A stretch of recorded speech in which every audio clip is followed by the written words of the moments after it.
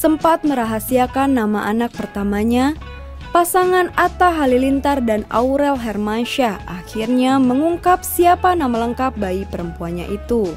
Amina Hana Nur Atta Itulah nama yang diberikan oleh pria yang berprofesi sebagai konten kreator pada buah hatinya yang lahir 22 Februari 2022 lalu di rumah sakit yang terletak di Jakarta Pusat. Nama bocah perempuan yang lahir dengan persalinan sesar itu memiliki arti dan makna besar bagi keduanya. Nama Amina sengaja diambil dari nama dari ibunda Nabi Muhammad Sallallahu Alaihi Wasallam dan Hana sendiri memiliki arti kebahagiaan.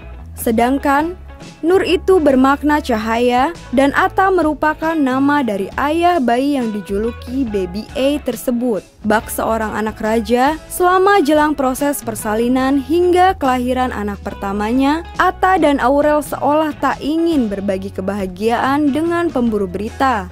Bukan hanya Ata dan Aurel saja yang terus-menerus menyembunyikan informasi tentang kehadiran sang jabang bayi, Anang dan Ashanti pun seakan ikut menutupi akan identitas cucu pertamanya itu. Lantas, benarkah ini semua sengaja dilakukan hanya untuk kepentingan konten YouTube-nya saja?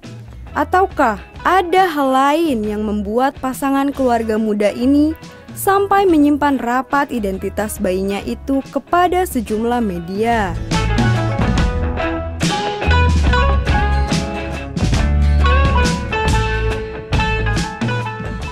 Untuk mendapatkan berita terupdate, tekan tombol subscribe, like, komen, dan nyalakan tombol loncengnya.